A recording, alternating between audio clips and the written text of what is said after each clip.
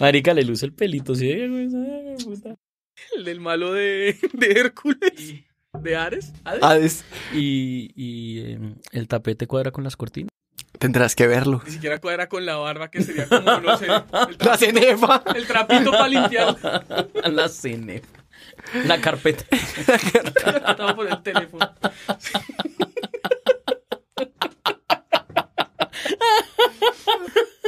¡Nerd! Oye, hermano, ¿viste ese estúpido nerd? ¿Cómo dice? Hola y bienvenidos a Estúpido Nerd, un podcast sobre series, películas, videojuegos y otras cosas ñoñas. Y hoy, hoy vamos a hablar de las relaciones tóxicas. Hoy vamos a, hoy vamos a hablar, ¡Qué buen intro! hoy vamos a hablar de, de la codependencia con la pareja. Hoy vamos a hablar de estas parejas que parecen una sola persona, de estas parejas que terminan pareciéndose, que son pegajosas. Hoy vamos a hablar de Venom.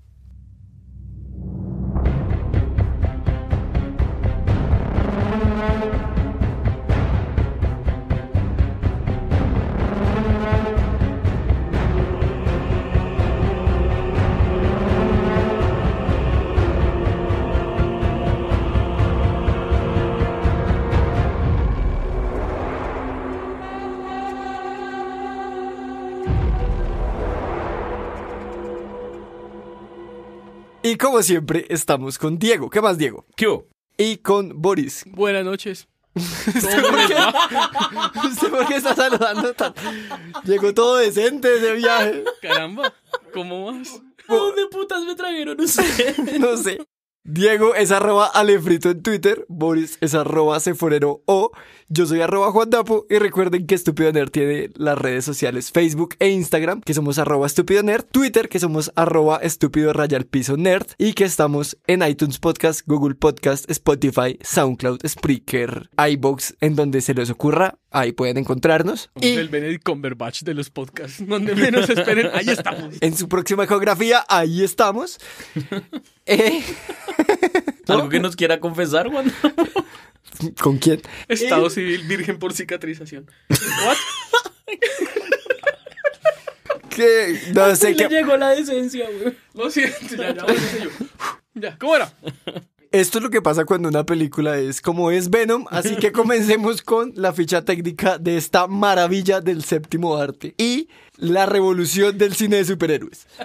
Boris, Pues sí, es, es, es, es otra película de superhéroes. Ya, ya ni siquiera se lleva el conteo de cuántas son. Ya es como la, la cuarta del año. Yo no sé cuántas vamos. Pero bueno, entonces, Venom es una película de este año de 2018 que es dirigida por un señor que se llama Ruben Fleischer. Esta película casi no sale a la luz, estuvo como en el, en el development hell, el infierno del desarrollo, porque se suponía que iba a ser el spin-off de, de Spider-Man 3, la que hizo Tobey Maguire. la que hizo Tobey Maguire. Pero pues, Ah, después de, de- eso, eh, de- Andrew Garfield no llegó a la 3. Por eso, no, por eso no pensé que se referían era a la 3 de esas. Ah, no, no, no, ese iba a ser el spin-off de, Ah, de ok, ok, Spider-Man ok, 3, ok. de Tobey Maguire, del, del Spider-Man Emo, no sé qué, y no salió, porque se cayó la, esa saga de Spider-Man. Luego Sony recuperó, que fue la, la saga de Mark Webb, que fue la, la de Andrew Garfield. También se volvió a anunciar Venom y resulta que no. Entonces dijeron, bueno, vamos a hacer el, el reboot una vez más de Spider-Man. Fue cuando se metió Marvel, congelaron estas cosas y se volvió a congelar Venom. Hasta que ya la anunciaron y pues bueno, la confirmación es que Venom no hace parte del universo Marvel, tampoco hace parte del universo de Spider-Man, hace como el, parte del universo Venom. Es una película independiente, va por su cuenta y pues eso estaría bueno si, si le van a dar continuidad porque pues ahí ya dieron guiños, ¿no? Pues sí, también a la Liga Extraordinaria le dieron guiños y Yo sigo esperando la Liga Extraordinaria 2 algún día, algún día. Bueno, la película es protagonizada por Tom Hardy, que él ya había hecho de Burn en, Burn en Batman. Y pues bueno, el, el tipo a- a- asumió el papel fue porque al hijo le gusta Venom y le dijo, quiero "¿Debería destruir tu personaje favorito. Le dijo, Tom Hardy realmente odia a su hijo. Bueno, Y Y el tipo, pues bueno, además de ser el protagonista, el, el personaje humano también hizo pues todas las voces y la captura de movimiento del simbionte de la criatura. Entonces, toda esa película es una serie de Tom Hardy, porque además es productor ejecutivo, o sea, Tom Hardy sale en todas las escenas de la película casi. Eh, Y ya, eso es el resumen de, de la ficha técnica de esta película polémica, sin duda, porque algunos le han dado muy duro, la crítica le ha dado durísimo, pero algunos otros medios les la perdonan. Claro, seguramente hay, hay un billetín, Pues pero, billetín. ya, pero ya de por sí lo, lo que se ve en Rotten Tomatoes ya es bastante Diciente. diciendo, o sea, que, que los críticos le hayan puesto, ¿qué? Menos de 30 ya estaba, o por los pues en 30. Metascore está en 35%, que es muy bajo, y en Pero- IMDb está en 7.1. O sea, por eso es que es una película muy polémica. Y, y no, y la, cosa, y la cosa es que en el mismo Rotten Tomatoes, eh, que los... ¿Está eh, fresh o está...? No, no, no, está como en 30 y pico con críticos, pero el puntaje del público está en 80 y algo. Exacto. Algunos, algunos medios en el- los preestrenos, como Rolling Stone, la volvieron mierda, pero luego el lanzamiento otros, como New York Times, está viendo, la perdonan. Pero bueno, eso hace parte del encanto del cine, que cada uno tenga su opinión. Frase tan estúpida. Ok. Eh, después de saber que Tom Hardy tiene un trauma con Venom y creció solo para destruir el personaje, Que Venom se ¿Cuál? la pone Hardy. uh, usted viera. De eso vamos a hablar. Cara de Boris, weón. No, no, no lo vi. Venom tampoco. Pero vamos con la parte sexy. Para fa fa fa fa. Yo siento que toca aclarar por qué decimos que esta parte es sexy. Porque la gente ya dijo en Twitter Porque que era una sexy. persona en Twitter dijo que era sexy, entonces a nosotros nos quedó sonando. Y bueno, a mí siempre me pareció. Pues es una persona más de lo que yo esperaba que se dijera. Ahí está. Dos, dos, porque y yo, yo lo digo constantemente para mis adentros. Yo me toco con los tropos. yo me entropo. Ok, en- y- ok, ya que se entropa, entrópenos a nosotros. Entrópenos a nosotros. Entonces, la sinopsis de Venom.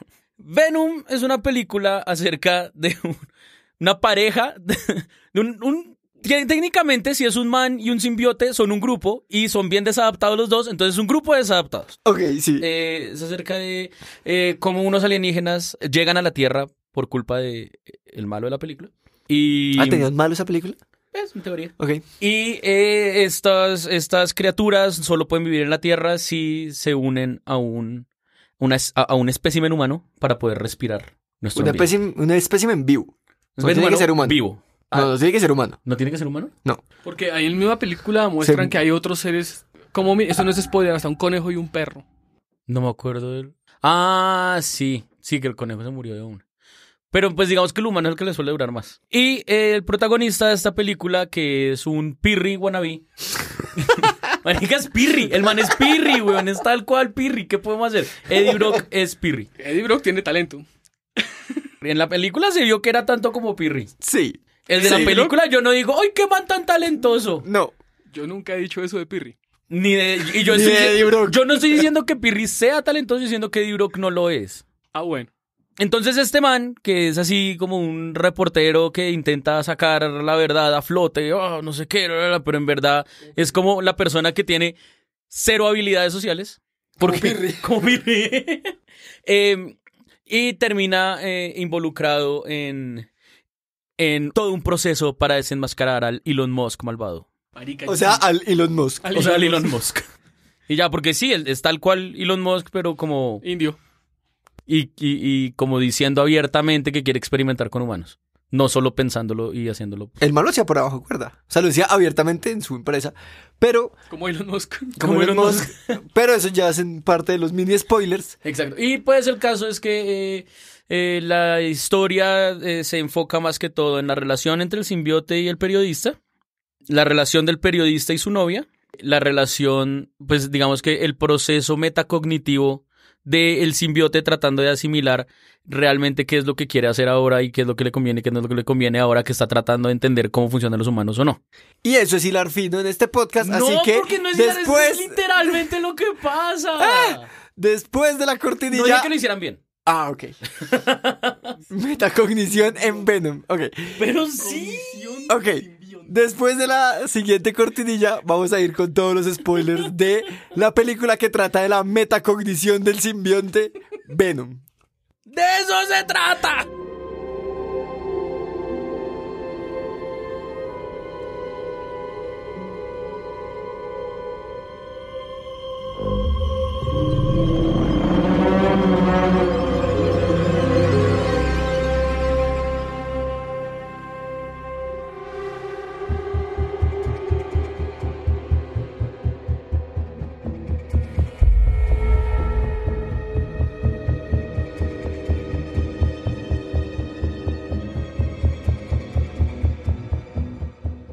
Bueno, Venom trata de la metacognición del simbionte. Pero superen lo más parido. Es que suena increíble esa frase. o sea, cuando tenga una banda, el primer disco se llamará así: La metacognición del simbionte. Pero por favor, hágala mejor que la película. Fácil. Sí.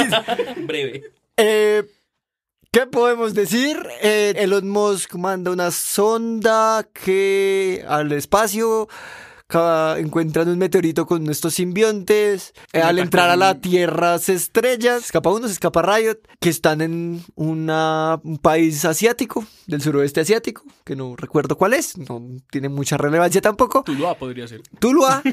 y el malo de la película intenta recuperar este simbionte. La doctora que trabaja para el malo se da cuenta que el man es malo porque está matando gente. Entonces lleva a Tom Hardy don- a donde está Venom. Venom se le pega al man y Tom Hardy se descontrola. El bicho malo llega donde el malo y se pelean y ya. Y Venom cambia de opinión. Ah, soy malo y ahora soy bueno. Bueno, yo, yo quiero hacer primero un, un- pequeño alto. Es que la, la- opinión que pueda manifestar puede estar afectada por un- una circunstancia. Es que vi la película de la forma que a mí no me gusta verlas. O sea, a mí me gusta ir a un cinema con imagen buena, con sonido bueno. Me gustan las películas pues en su idioma original. Me gusta ir a películas con mis amigos o con ustedes dos, lo que primero aparezca. Pero me tocó ir a ver la película después de una jornada laboral agotadora. La pantalla del cine es terrible, el sonido en español es peor. O sea, fue una experiencia cinematográfica mala. Entonces, quizá mi opinión está un poco tergiversada. Tal No, vez a yo usted le pareció buena. Yo creo que usted vio mejor, o sea, como, como la imagen era mala, el sonido era malo, ¿usted cree que la película Usted le puede dio ser más buena? beneficio de la duda que nosotros. Nosotros no, nosotros la vimos en un buen cine, en su idioma original, con una gran calidad de imagen. No, No había excusa, no, No, había excusa no. alguna. El primer defecto que yo le veo grande a la película es que todo ocurre de noche.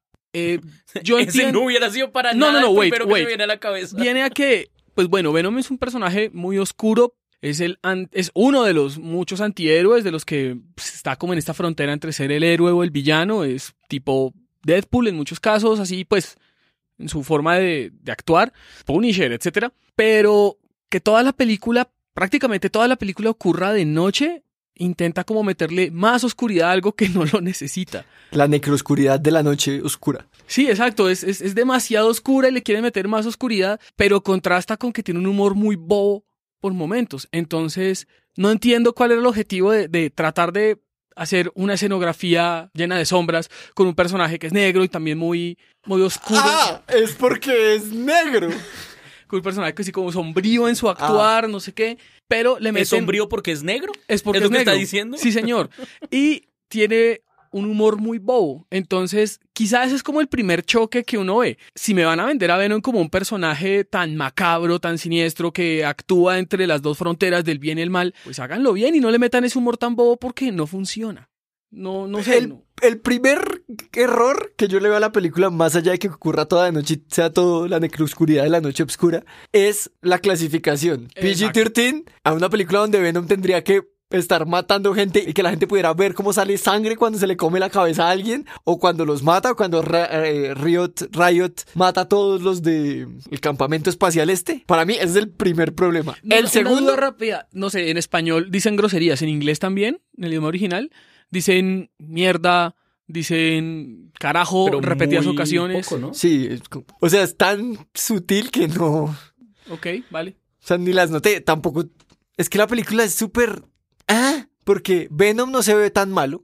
O sea, se ve muy malo. Tiene sus dientes y su cara y su tamaño gigantesco, pero no mata a nadie. Uno nunca ve a Venom matar a alguien. Más allá de los que se les come la cabeza. ¿Los vio? Sí, no. Exacto. Usted nunca los ve. El man podría ser el mejor mago del mundo. Y es como, me lo voy a comer la cabeza. ¡Tatán! Y la gente, ¿qué pasó? Me lo comí entero. ¿Qué? Ese es para mí el primer problema. Si la película fuera eh, calificación, clasificación ¿Para adultos? para adultos, no sé qué hubieran hecho con la escena en la que Tom Hardy se besa con Venom. Porque hay una escena en la que Tom Hardy se besa con Venom. Bueno, O sea, hay- hay una la simbiotefilia. Sí, estaba leyendo es porque Sony, Sony no, no mal. tiene ni idea de qué quiere hacer con sus, con sus propiedades de Marvel. Ellos tenían in- la intención de hacer unas, de, de una película R, pues inspirados principalmente en, en Logan y en Deadpool, que, que lo lograron muy bien. Pero ellos tienen miedo de que en algún momento una clasificación R en Venom les impida meter a ese personaje en el universo de Spider-Man. Entonces se frenaron, porque Spider-Man clasificación R sí arruinan el personaje. Fue, sí, una jugada terriblemente conservadora y que salió con un, una película que no se define, es que como que es Pero es, aparte, problema de todas las películas que nosotros vemos. o sea, lo que quería decir del beso de Venom con, con Tom Hardy era que la película tiene 100 mil millones de agujeros de guion. 100 mil millones. Al villano le faltan motivos para ser malo. Riot se demora en llegar a San Francisco, pero como se demora como seis meses. Todo el mundo se teletransporta en esa película. Todo el mundo entra a los edificios como porque sí. ¿Y qué está pasando? Y Venom, el peor agujero de todos es que Venom cambia de opinión de un momento a otro. Nunca vemos un- una transformación del personaje porque quiere eh, ahora salvar el planeta Riot, de Riot, sino el man dice, ah, no, tú eres un loser como yo, entonces ahora me caes bien de un momento para otro. Es como... Los, los personajes de Venom están hechos a las patadas, güey. Todos los personajes están hechos muy, muy, muy a la ligera y son casi que caricaturescos en la forma como se hacen. No hay nada de tridimensionalidad. El más, el que más muestran es al protagonista. Que Tom Hardy lo hace Que, que pues, decente. Sí, Tom Hardy, Tom Hardy es teso, pero igual, marica. Y, y yo vengo a decir aquí que no. O sea, el papel de Tom Hardy, no Venom, de Eddie Brock, no es la gran cosa. O sea. no, no, no, no, no es la gran cosa. No, pero no es pero tan malo es el como mejor. nosotros. Ah, bueno, sí, es cierto. Es que el, el malo de la Fundación Life Es que la- esa es la cosa. El malo más malo de... O sea, es malo de películas ochenteras. Sí, Soy super- el malo. Sí, un supervillano. Que Ah, ni siquiera- Austin que el Powers, que el Un problema ni millón siquiera- de dólares. que el problema ni siquiera es cuestión de que no tenga motivos. Él mantiene motivos. La cosa es que nunca nos importan no sus motivos porque al parecer a él tampoco le importan. El man tiene sus razones y las dice y dice, ay, es que eh, deberíamos avanzar más, que los seres humanos no somos suficientemente evolucionados, yo no sé qué, bla, bla. Pero el man nunca se muestra como una persona real, entonces en ningún momento le creemos absolutamente nada de lo que está diciendo. Lo mismo pasa con la novia, que es, es el personaje más genérico del puto mundo, que además cuando están los dos en escena al principio, yo, yo, yo veía las escenas en las que, en el momento en el que se supone que estaban bien, que era la primera escena que no sé qué, y todo el tiempo esa relación está muerta, güey. Y yo, y yo al principio pensaba, era como, o sea, si me están mostrando una relación muerta, lo están haciendo muy bien. Cuando me di cuenta que no me estaban mostrando una relación muerta, yo dije, ah, simplemente no hay química y esto es una mierda mal actuada y ya. Porque ese era el problema. Nunca hubo nada de química que se viera entre ellos. El único momento, lo peor, en el único momento en el que se vio algo de química fue cuando Tom Hardy besó a Ven- a Venom. Ese fue el único momento en el que yo dije, ahí hay algo. Y luego otra vez se perdió. Entonces, una mierda es el personaje. El esposo de la vieja también, como el Deus ex máquina más raro del mundo, es como, sí, y es médico, y además quiere ayudarte en todo. Y además el man es un bacán. Y además, pero en, o sea, el man no tiene personalidad alguna salvo ser un bacán. Es como Mr. Peanut Butter en el primer capítulo de Bojack Horseman, pero sin querer ser esa, ese personaje chistoso, sino simplemente es como, es un bacán.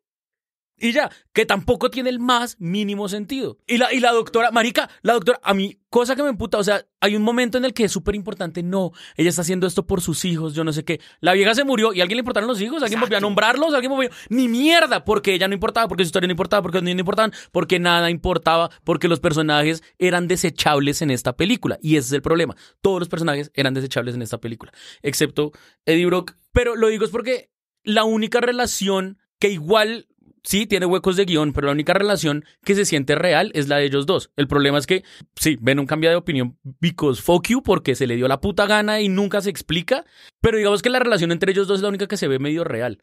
Y qué raro, también lo hizo Tom Hardy.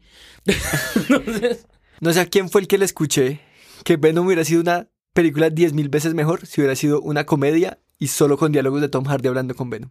Y que me Diego a la salida como, ok, hay diálogos que a veces funcionan de ellos dos que son, no voy a decir divertidos, porque son, quieren ser divertidos, pero, pero son creíbles, son verosímiles. son más, más o menos, No, porque Tom, que se porque demasiado. O sea. Venom supuestamente sabía todo lo que sabía Tom Hardy. Y, y a veces sí, a veces no. A veces lo del parásito fue divertido dos segundos y luego dejó de serlo. Y Es que ah, no es- construyeron es- tampoco tan sólida eso. Es raro que un personaje tan villano y tan asesino sea a la vez protagonista y comic relief. Exacto. Entonces, sí. A ver, la, la- la- la idea general que yo me llevé de la película es Sony hizo una película muy Sony. O sea, este es el arquetipo de película de superhéroe Sony.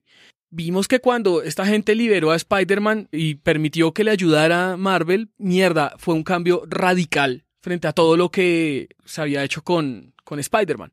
Pero si ustedes ven las películas viejas de Spider-Man, las de Tobey Maguire en especial, tienen como ese tufillo medio noventero, como de película de estamos aprendiendo a hacer películas de superhéroes. A mí me pareció que Venom le pasa exactamente lo mismo. O sea, es una película que si se hubiera hecho hace 10 años sería increíble. Pero ya en este momento que tenemos tanta sobrecarga y tanta experiencia, llamémoslo, de películas de superhéroes, y que ya les estamos pidiendo un nivel tan alto de cosas, porque ya estamos pidiendo pues películas del nivel de Logan, de Infinity War. Estamos pidiendo que sean películas, no películas de superhéroes. Estamos Exacto, pidiendo que sean algo que se mantenga como... Que ya no caiga en, en- en el juego de que como es una película de superhéroes le perdonamos. No, no, no, ya no. Exactamente. Entonces estamos quizás siendo ya demasiado exigentes de en un género que no está diseñado para hacer arte, sino para hacer mercado, para, ven- para vender crispetas. Ok, lo entiendo. Pero si esa película se hubiera visto antes, hubiera funcionado. Pero tiene todos los defectos que tienen las películas de Spider-Man viejas y que en el momento no las vimos. Solo 10 años después, cuando volvemos a ver a Tobey Maguire, incluso a, a Andrew Garfield, decimos, esto está fallando porque no es coherente, porque intentan ser chistosos y no lo son, o porque intentan ser serios y no lo logran. Sí, pero las películas de Tobey Maguire y de Garfield tienen cosas buenas. Si Y usted las ve hoy en Venom- día, sí, todavía tienen cosas buenas. Como por ejemplo, Spider-Man 2, la de Tobey Maguire, es buena. como por ejemplo que los villanos tienen una razón de ser. Bueno, sí. Y esta película cogió todo lo malo de las películas de estas, pero nada de lo bueno. Esta película es una película hecha con todas las cosas que hicieron mal en cinco películas. Sí, la verdad en este momento le estoy creyendo cada vez más que es un spin-off de Spider-Man 3. A mí me pareció Esos que Venom me... hizo, hizo ver al Venom de Spider-Man 3 bien. Uy, el Venom de Spider-Man 3, ¿cómo es de malo? Y como sale poquito, entonces yo creo que es un poco mejor que este que me tuve que aguantar dos horas de película. Mire que, Que lo mejor de la película es cuan- al final cuando sale Stan Lee. Y eso es, eso es decir mucho de una película de Marvel. Porque Cuando el mejor actor de una película es Stan Lee. piénsenlo, Stan Lee sale en todas las películas y uno siempre lo busca y es como, ah, ya lo encontré. Ahora cada vez lo ponen más pronto para salir de chicharrón porque en rápido. cualquier momento se muere, además. Entonces aquí lo pusieron al final de la película y es como, ah, sí, pusieron a Stan Lee. Uf, qué chimba.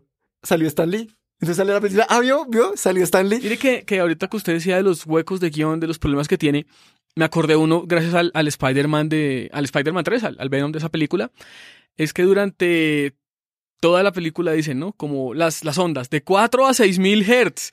Y acuérdense, como el, el principio de narración es, yo planto una idea, luego la reafirmo y luego hago algo con ella. Entonces, me mencionan que hubo un ruido y se alteró. Ah, ok, como que descubrimos que entre 4 y 6 mil hertz le pasa algo. Luego está en, en el edificio, en rascacielos, pasa el avión y se altera. Ok, me reafirmaron la idea del sonido. Luego que está en el, como en el escáner este y de nuevo, o sea, esta vaina. Luego van Y murió carro. por el fuego. Es como, Luego what, por- what, what? O sea, ¿qué pasó? O sea, ahí- ¿por qué me están vendiendo una idea que luego no me van a rematar? O sea, cockblock. Entre, Pero entre igual la la última y la usan, del pero fuego. igual sí la usan al final. No. Sí, en la pelea. Ah, sí, en la pelea. Pero no es tan decisiva por... Ah, no, solo digo que la usan. De nuevo, no digo que la usen bien. Digo que la usan. entre, entre el escáner y el fuego hay un... Voy, soy Venom, mm, criatura muy inteligente, y voy hablando de mis debilidades. debilidades. Sí, las dice abiertamente. Dice, sí, los sonidos de tantos a tantos decibeles. Ah, y el fuego. Y el fuego. ¿Por qué le tienes que contar que el fuego te mata? Mientras él está hablando con la, con la exnovia, además, con la, con- como él está contando todo esto en voz alta a la exnovia. Lo único Y que... Venom hablando, feliz. hablando de eso, lo único que me pareció medio bueno de... de- Y digo medio bueno. Fue cuando Tom Hardy estaba hablando con la gente, pero al mismo tiempo hablaba con Venom. Es que esas son tipo como, cosas que podían No, marica, no le hablo a usted, no, le- no le estoy hablando a usted, estoy hablando con algo que tengo en mi cabeza. Y algo que, que- que es medianamente interesante es que todas las, las voces de, de Venom las hizo pues Tom Hardy en el momento de preproducción de la película, antes de, de actuación. En el momento del rodaje le pusieron un, un audífono y le soltaban las frases casi a la suerte. Él no sabía cuándo iban a salir esas frases. Eso, esa mecánica de actuación fue interesante porque lo hizo ver dinámico. Pero si esas frases que meten entre los diálogos son que sudas, son todas cheesy como las de... Es que así se llaman, las cheesy phrases, las frases que están diseñadas para ser efectistas, el I'll be back de Terminator. Sí, pero... pero Que esta no vieja el término que- de quesudo. Es que se llaman cheesy phrases. Sí, pero quesudo en Pues español. bueno, sí, El doblaje fue lo que me sorprendió. Pues es que me era bien mexicano, ¿no? Y pues chida la película. Y... No mames, güey. Pero pues, ¿qué hago? Y mira, mira, chécate que cuando estaban platicando. en un momento cuando. En México, vea, perdón. No, ¿por qué? cuando esta mujer peri- abogada, o sea, la novia de, de Eddie, activa el, el aparato del sonido, no sé qué, y la hacen el zoom a la cara en contrapicado y dice, yo también puedo pelear sucio. Oh, ¡Mierda! Esa, ese tipo de momentos, ese tipo de momentos son los que funcionaban en el Spider-Man de hace 15 años. Sony no ha aprendido. Sony dijo, ok, ya muestro una vez más que no puedo hacer nada con una película de superhéroes. Papá Marvel, ayúdame. Es, ¿qué, qué quita? Eh, que Marvel diga, venga, a ver, devuélvame esa vaina de una vez y metemos a este puto en el universo Marvel a ver qué pasa. Que no va a pasar, pero Porque además el, el universo Marvel todavía no ha sacado su primer película con calificación R, ¿no? Y a este paso, Disney, dudo que lo haga.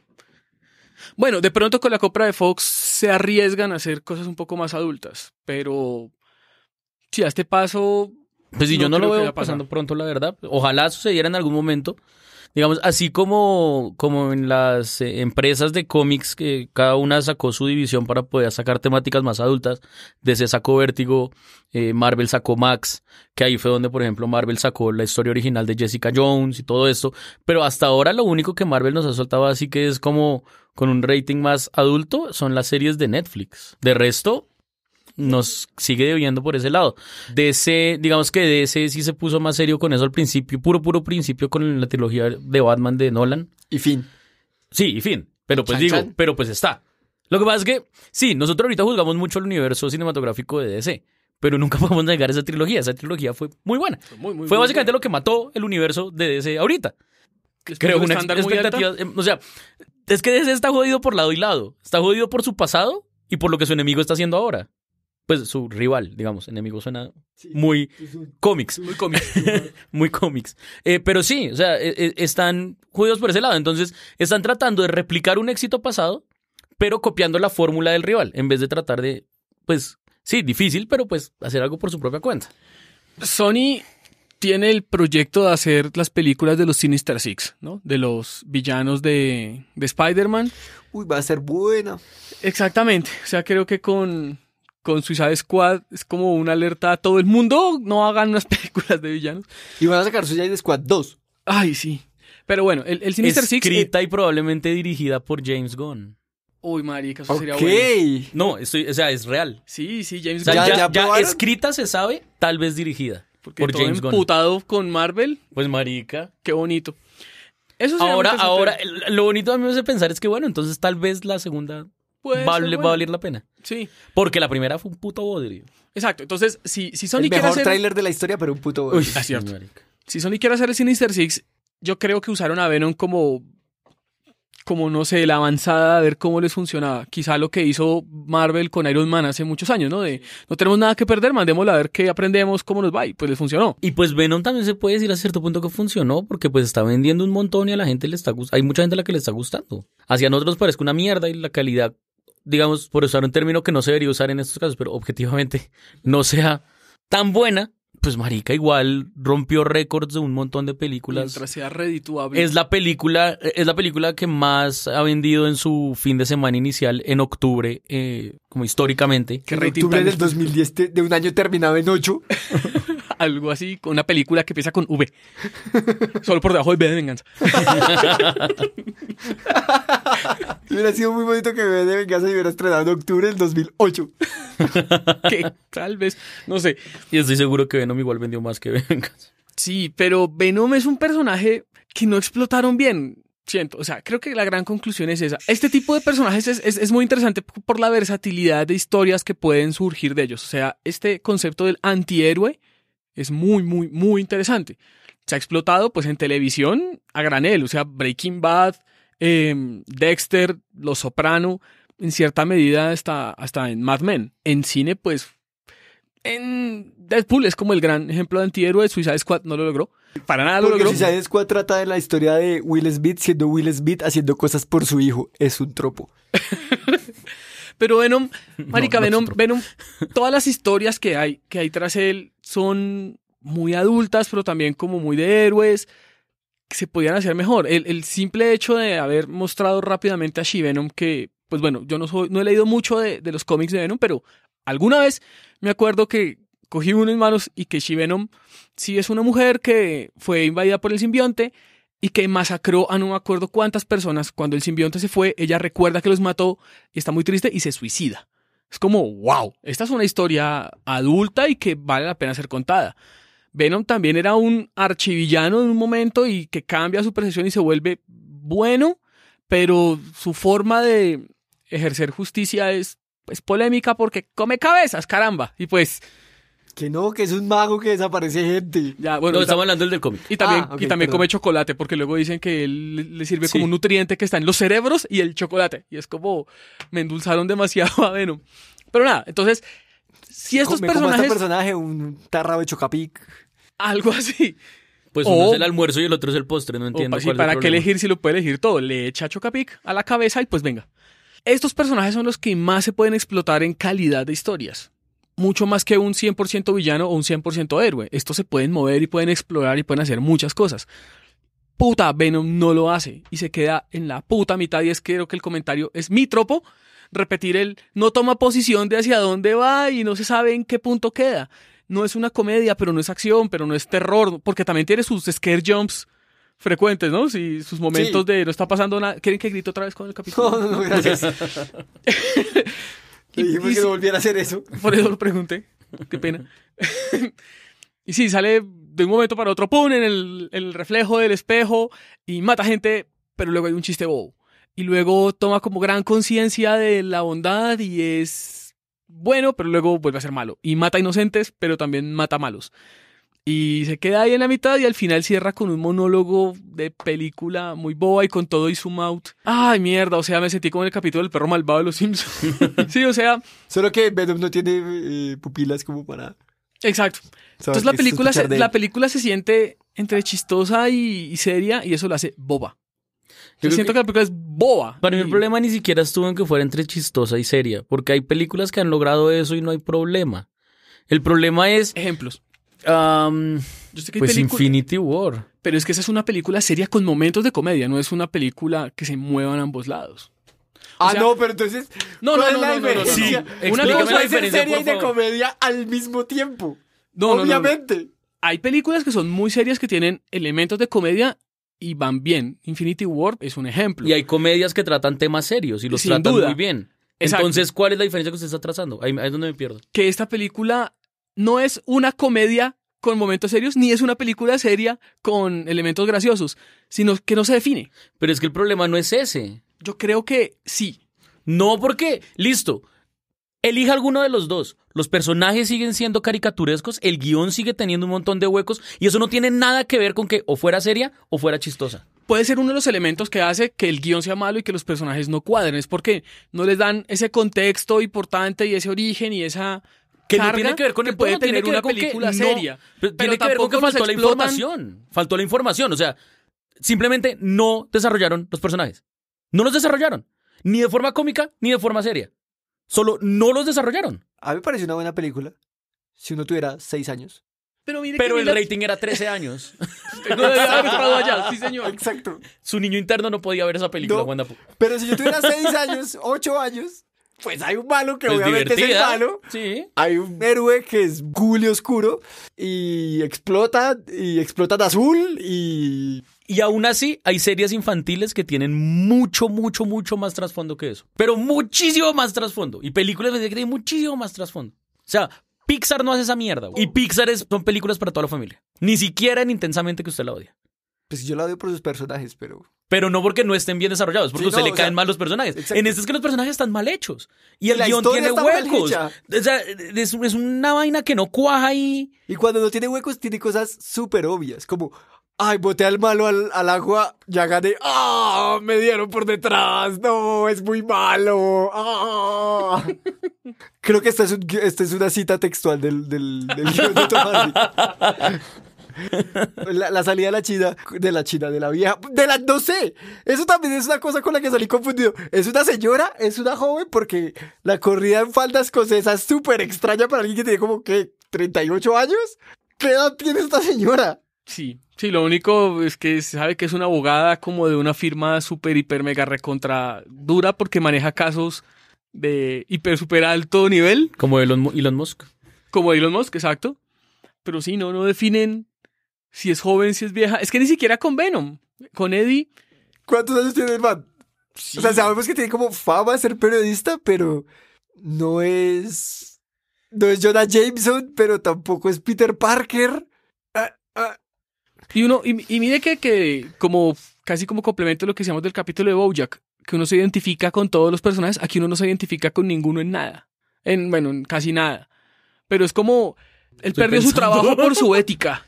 Su ética fue muy boba porque realmente fue como un poco agresivo y no, no hizo las cosas como en Es que esa es la Yo cosa, me o sea, por identifico ejemplo... con alguien. ¿Con quién? Con uno de los manes que estaban en, la, en el restaurante cuando llegó Eddie Brock. Y Un todos man- vieron cara de qué putas ¿de está qué putas pasando está acá. pasando? Con- con el- yo, esa fue la sensación que tuve toda la película. ¿Qué putas está pasando? Sí, pero por ejemplo, por ejemplo lo que usted dice, sí, entonces uno, uno alcanza a sentir como el man, como claro, lo importante es hacer lo correcto, lo importante es no sé qué, pero sí, el man llega y es súper agresivo y lo hace de la forma menos inteligente posible y entonces uno dice, es es un imbécil, Es un muy mal periodista. es un pésimo Sí, periodista. Miren, miren el momento en el que eh, Elon Musk mu- cuenta su, su motivo por el cual quiere hacer las ¿Cómo se cosas. llama realmente el malo? Elon Musk, puta. No el Indian Elon Musk.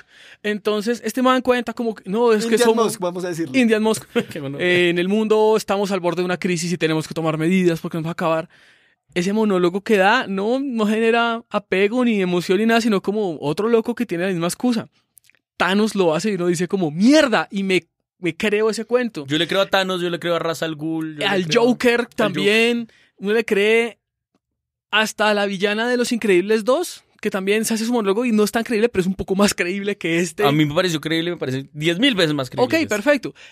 El de Black Panther, que a mí no me gustó mucho esa película, pero entiendo que el motivo que tiene El villano de Black Panther. es muy interesante, claro, y uno le cree. Hasta Loki, que no tiene que exponer a- tan abiertamente, bueno, sí lo expone en la primera, de él quiere ser el heredero al trono, pero Sí. al menos... Pero igual uno- es que, puta, tiene carisma. Y genera cierta y tiene, y, empatía. tiene- y está construido el personaje. Claro, aquí este cuenta su, su historia y aparentemente es algo que uno diría, ok, coincido con él, es un villano, pues es un tipo excéntrico que tiene un, un buen objetivo en la vida, quiere hacer el bien que los, los medios no son los adecuados, pero uno es como, ay, cállate, idiota, muérete de una vez que sabemos que O, te vas a morir. o hagan, o hagan la Game of Thrones y hagan a Joffrey. Hagan un personaje con el cual yo nunca voy a estar de acuerdo en nada, pero lo odio, weón. Lo odio y me genera algo. El Chaotic Evil. Sí, pero, pues, marica, por lo menos. Pero es que este man no me No producía nada. ni mierda, weón. Es que ni genera- exacto, no, no genera repulsión ni afecto. Nada, nada, Ni siquiera nada. genera Genera aburrimiento. Exacto, es que ni siquiera genera, genera neutralidad. Es como, ya, mátenlo. O sea, fastidio. Es como, ya sabemos que se va a morir. Ya sabemos que se lo va a comer un simbionte. Ay, ya muérase. Y... Y el man, el man para ser tan inteligente y haber llevado una nave a un cometa para traer simbiontes, hace drones suicidas. O sea, no puede ponerle armas a los drones, sino los drones tienen que ir y chocarse contra la moto de Brock y explotar en azul con gas natural. En azul. Esa, esa es la versión genio tecnológico de empezar a hacer llover dinero. Sí. Hacer llover marica, drones. Es la peor idea. Drones que para atacar se, se explotan, se suicidan. Drones kamikaze. Marica, si se van a explotar, por lo menos que sea una explosión grande y fuerte entonces. Y Pero roja, le explotaban no ahí al lado y ni mierda. Yo, yo pensé que era la única persona que le parecía raro ver fuego azul. azul. Para Porque se que- supone que la llama azul no es tan caliente. Para mí que se mueven con gas natural. Ah, bueno, pero tenga en cuenta que el man tiene un principio ecológico de Claro, impactos. Claro, gas natural que- es mejor que el petróleo crudo. o sea, Peor que la sí. electricidad, pero... Porque es que una bomba eléctrica no, no, no- no es tan llamativa. Salvo que hubiera sido mucho más efectiva porque le hubiera pagado la moto un EMP ahí. Entonces, Exacto. El malo, Pues digo, el cliché calvo ayudante del malo que siempre busca a, a Brock, es como, man, este man en cuántas películas es que ha salido. ¿sabe, Como, ¿sabe qué me hizo? y, con, y con los mismos, la, la frase como, no te mato ahora, porque qué divertido sería eso. Marica, ¿sabe, ¿sabe quién eras? Era un, era un Ajax wannabe. Era tal cual un intento de Ajax, y no lográndolo ni de cerca. Ay, Ajax, como es de divertido. Ajax es muy divertido, weón. ¿Cómo se Ajax es muy divertido. Francis, Francis. Que marica, que sí, que, que, que es una chiva porque el personaje es súper serio y todo eso y contrasta con la forma como Deadpool lo trata. Aquí simplemente el man saca frases de cajón, saca frases de cajón. Y las va botando así. Pregunta. Esa es su arma. los contratan, tienen que hacer el guion de Venom 2. Salve usted esta franquicia. Renuncio. Perfecto. Ah, bueno, O sea, comencé- ¿cómo, ¿Cómo se puede salvar este puto hueco? Pues lo primer- no, lo primero No, es sin decir- reboot, sin reboot, ni mierda. No, lo primero- Usted tiene que contar con el puto de Tom Hardy, sí o sí. Bueno, no, la verdad yo no tengo problema en contar con, con Tom Hardy, pero lo primero Listo, es decirles, vamos a hacer clasificación R. Punto. Ok. Punto, esto no se puede hacer. Especialmente si vamos a meter a Carnage, weón. Ah, sí, porque Woody Harrelson salió en los after credits y... Ah, cómo me cae bien Woody Harrelson. Sí. Ah, Pero ese- la, ese- con la peor peluca en la historia. Sí, la película de además. Ronald McDonald. Sí, sí, sí. sí. Y incluso esa escena post créditos que dura un minuto, dos minutos, estoy escribiendo con sangre. Y le, le digo a Diego como, es Carnage, ¿verdad? Va a haber una carnicería.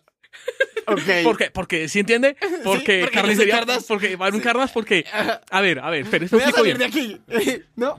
Sí, sí, es, es poco evidente, un poco clichésoso. Las frases que sudas inmundas.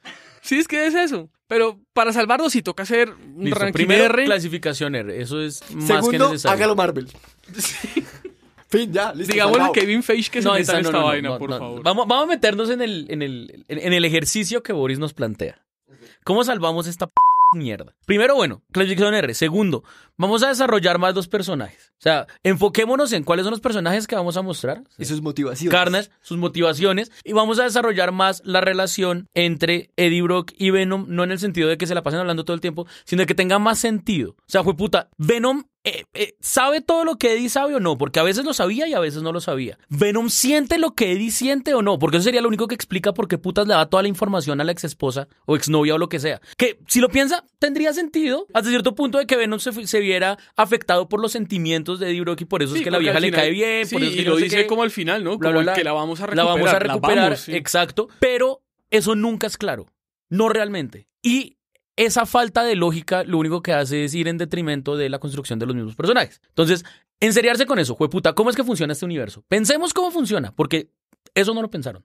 El malo, ¿cuál es el malo? Carnage, listo.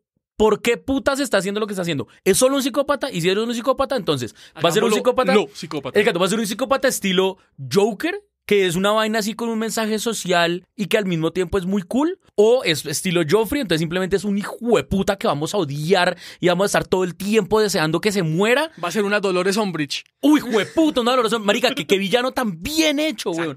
Todos veían no a tiene Dolores- motivaciones. El- ella es mala. Ella es mala. Y, Ella es mala. Y, y es que en ese caso no importa porque es que Dolores Umbridge es alguien que todos conocimos alguna vez en el colegio.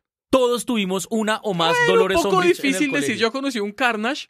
Es, es un poco difícil hacer el símil. Pero todos conocemos o vimos partes de un Joffrey en alguien. Porque es eso, no son los poderes, no es que, ay, como está matando gente, es cómo actúa y los motivos por los que lo hace. Eso es lo que hace que uno se conecte. Uno se puede conectar porque lo siento cercano a mí y por eso voy por él, o porque lo siento como algo directamente contrario a mí y por eso lo odio. Joffrey, Dolores Umbridge.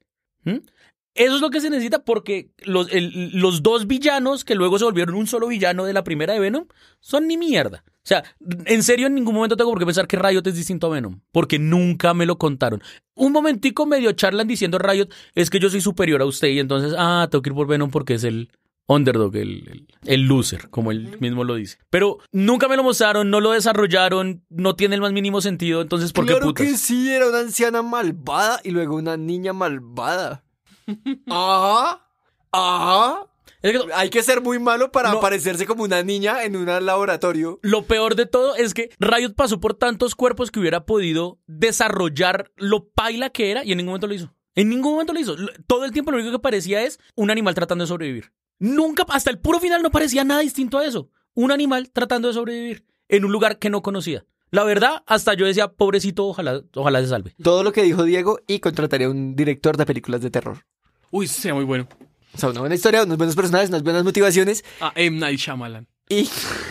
Pero, pero el man. No, no, no. no, no, no, pero el man está está recuperando. se está... El man está levantando cabeza. Que toca ver esa trilogía, la de Glass. Sí, esa película a pesar, verla. a pesar ¿De de y vida y jueputa, todavía se merece varios golpes por Avatar. Sí está levantando cabeza ahorita, por lo menos con eso. Pero no, igual no se lo vean. Se lo ve a alguien que ya esté levantado de cabeza. ¿Quién dirigió It? No sé, pero por ejemplo yo pensaría Pero me en dársela gustaría, a o alguien sea, como Es que es un payaso malvado. O sea. Venom es un puto payaso malvado. El director de It debería ser ese. Pero yo Venom no la veo como una película de terror. No, Man, no, pero- no con una película de terror, pero sí con elementos de película de terror. sí, eso sí. eso con, la, sí. con la visión, no con el objetivo de asustar ni de hacer brincar ni de estrenarla en octubre, Pero no, sí, sino con la estética de pronto, con Pues sí, que no sea, güey, ¿cómo se llama el de Thor Ragnarok? Eh, Titiki. Waikat Atitikutu. Ese man, o sea, con todo lo que usted dijo y este man, pues obviamente no va a salir una película decente para Venom porque el man es chistoso. El man hizo What We Do in the Shadows y, y, Sí, y no, Thor no, no, Ragnarok. Entonces yo creo que un director de terror Sí, eh, nuestro amado que- Edgar Wright, ahí no funciona. Pero por Edgar ejemplo, Wright no pero por funciona ejemplo, una de mis películas, una de mis películas de terror favoritas la, la, la- la escribió y la dirigió un comediante. Get Out. Bueno, pero, pero ¿cuántos fue- comediantes has Sí, descrito no, en yo sé. películas No, de pero es que no, no, no, pero lo, lo estaba pensando era por el lado de que algo como eso podría funcionar.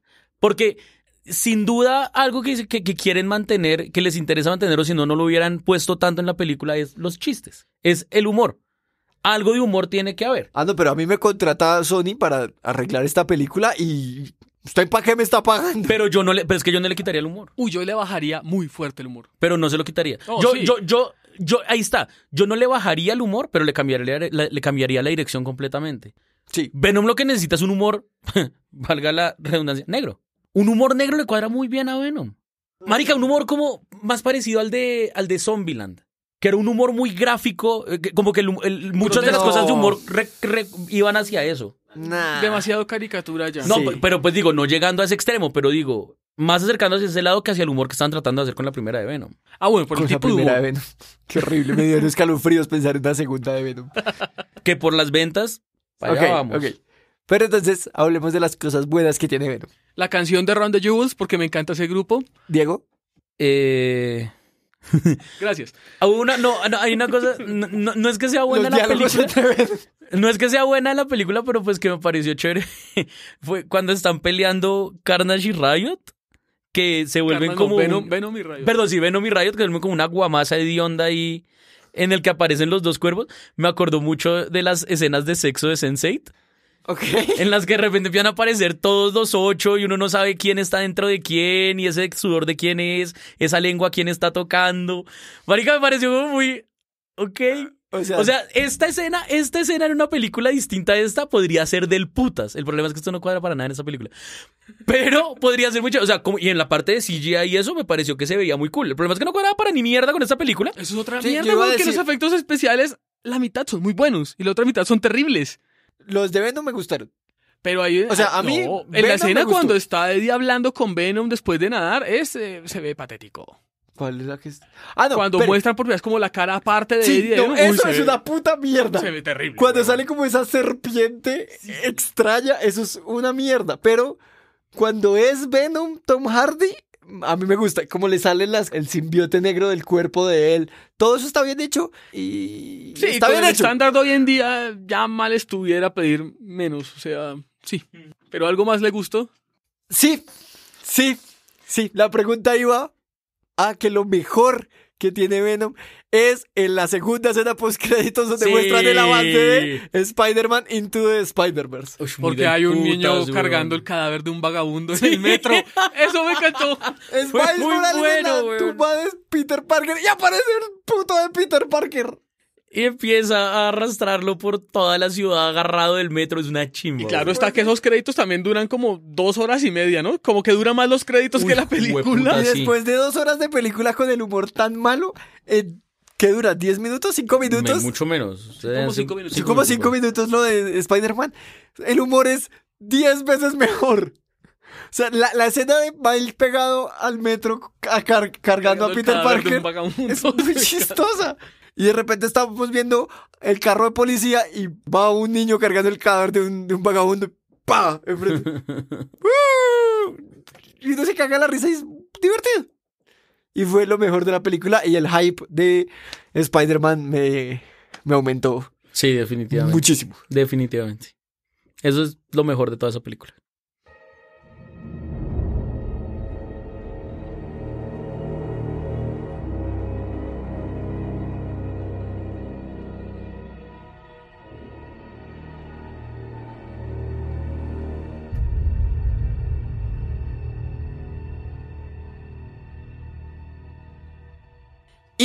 Con eso terminamos el episodio de esta maravilla de película, esta joya del séptimo arte, que será la nueva Casa Blanca, no lo sé. Pero no podemos irnos sin antes puntuarla. Eh, no les voy a preguntar porque creo que todos estamos de acuerdo. ¿10? 11 más o menos. ¿11? Pero, Pero todos sumados. Venga, ¿por qué? Y eso. Y eso. y es- vamos a ver cuánto no, da. no, no, vamos no, a ver no. cuánto da. Diego, del 1 al 10, ¿cuántos estúpidos para Venom? Am, Todos, porque esas tres películas. tiene todos los estúpidos, pero de puntaje le pone 4 o 5. Uy. ¡Uy, jueputa! ¿Le Uy. gustó? Die- Boris. No, no, yo quiero escucharlo primero usted. No, yo, mi 4 o 5 es porque, o sea, esperaba mucho de, de Venom, de lo que se podía hacer con Venom, y por eso el puntaje es bajo, pero no es tan bajo porque las partes que me parecieron chéveres, pues me entretuvieron. O sea, no fue una película que me hubiera aburrido. No fue una, no una película que yo hubiera dicho me salgo. No fue una película que no. Yo digo, bueno, la vi, eh, casual, eh, no la volvería a ver. No se la recomendaría a nadie, pero pues tampoco me pareció una tortura. Ah, Boris quiere cambiar un poco el orden. Bueno, entonces voy yo. A mí sí me pareció una tortura. Yo sí quería salirme. Yo me aburrí. La secuencia de la, de la persecución es increíblemente larga Sí, la y es estúpida. sí. Y no me fui porque veníamos a hacer el capítulo. Pero para mí esta película, salvo por los efectos especiales, es un 2-5. No jodas. Man, es una película terrible. Tiene huecos, tiene malas actuaciones. La banda sonora ni siquiera es tan memorable. Eh, lo único bueno que tiene son los efectos especiales y Spider-Man Into the Spider-Verse y que sale Stan Lee. No tiene nada bueno. O sea, le doy 2.5, no le doy 1 ni 0 por, porque visualmente está bien Lo hecha. que pasa, o sea, la puso casi por debajo de Room. Sí, porque, Porque estoy esperando otra. Porque yo esperaba mucho más de, de Venom que de Room, ¿no? Bueno, sí. No sé, yo, yo, yo no tenía ninguna expectativa de Venom. La verdad, no. Ese personaje me parece interesante, pero nunca, nunca lo he seguido, nunca me ha gustado mucho. Sin embargo, la película a mí no me aburrió, pues. Lo máximo, la máxima expresión facial mía cuando pasó algo fue como un. "Hmm", una exhalación rápida, como un ¿Y cuánto se merece eso? 6. No jodas. Sí. La película, como usted dice, está medio bien hecha. Pero Pues, visualmente. visualmente, sí, sí, está medio bien hecha. Que criticó de la oscuridad, los efectos especiales por momentos, pero a mí no me aburrió del todo. O sea, es una película, es una película crispetera, pero pues está al mismo nivel de otras películas de superhéroes que, que me. Está O sea, por para mí- para mí- Spider-Man 3, para mí. ¿De Spider-Man 3? Sí, la de Tobey Maguire, esta película es peor. No, para mí yo creo que es mejor. Yo sí creo que es mejor. Yo creo que son igual de malas. No, man. Solo Porque porque, el- el- quiero el que haya una tercera opción. El man de arena es mucho mejor personaje y con solo el man de arena le gana a Venom. Pues, parce, Con solo tener mí- un buen personaje ya le gana. No sé, esta película no. Sí, lógicamente no me enamoró, no se la va a recomendar a nadie. Pero si la repiten en televisión, yo creo que la veo. O sea, me entretuvo, cumplió su cometido. Que incluso otras películas mejor hechas no lo logran. Entonces, o sea, no me es tan indiferente como Ant-Man 2. Sabiendo que Ant-Man está mejor hecha, pero me es igual de indiferente como en la historia, como mm, cállate tú, lo importante es el after credits. Y por eso 6. Sí. Bueno, sin 6 más 2, 5. Más 13. 4, entre 5, todos. 3. Nos falta dividir por tres, ¿no? Importante. esa parte. Cuatro y medio. Ya. Listo. Ok. Digamos que eh, nuestro matemático de cabecera hace cuatro y medio y con eso vamos a la luna. Un cálculo mental que podría salir mal. Y recuerden que Estúpido Nerd tiene las redes sociales Facebook e Instagram, que estamos como arroba estúpido nerd, que tenemos Twitter, arroba estúpido raya al piso nerd, y que estamos en todas las plataformas de podcast que conocemos al menos, como iTunes Podcast, Google Podcast, Spotify, SoundCloud, iBox, Spreaker y demás. Muchas gracias, Diego. Dena. Muchas gracias, Boris. Un gusto. Y adiós, estúpidos nerds.